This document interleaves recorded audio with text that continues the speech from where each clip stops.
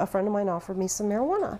And I said, okay, fine. Cynthia Winia says under normal circumstances, she would have never tried marijuana, but after years of painful spine issues and friends telling her it could help, she did. It took me a while to realize it.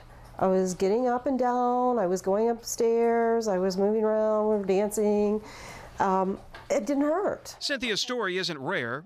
Across the country, 16 states have legalized marijuana for treatment of patients with chronic pain, including cancer, arthritis, and spinal issues.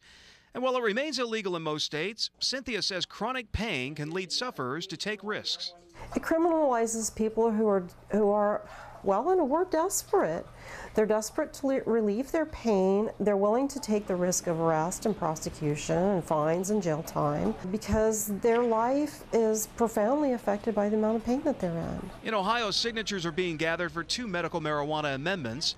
Both will need nearly 400,000 valid signatures to qualify for the ballot. The first, supported by the Ohio Medical Cannabis Association, would make Ohio the 17th state to legalize marijuana for medical purposes. The second, the Alternative Treatment Amendment, would create a commission to determine how much marijuana an individual could possess, where it can be sold, and the taxes attached to buying and selling. I don't know of any other drug in our repertoire of medications where you take it and you know only what it might do, but you have no idea what the side effects are. Marcy Seidel, the executive director of Drug Free Action Alliance in Ohio, says legalizing pot for any reason is a decision that should be left up to the medical community. We don't do it through a legislative or a voter process.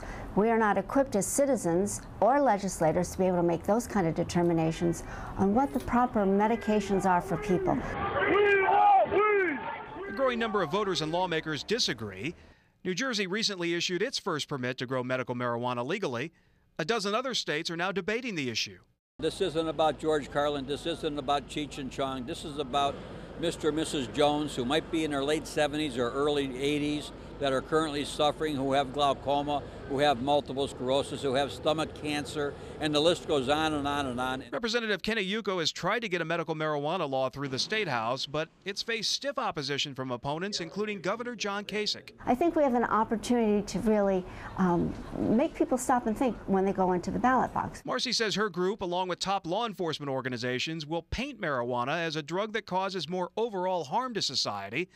She says until the FDA can prove its benefits, it should not be available under any circumstance. It's a point of view that Cynthia and supporters of medical marijuana reject. If this can relieve pain from people who cannot find relief in any other way, there is no reason not to legalize it for medical use. Ultimately, that may be up to Ohioans to decide.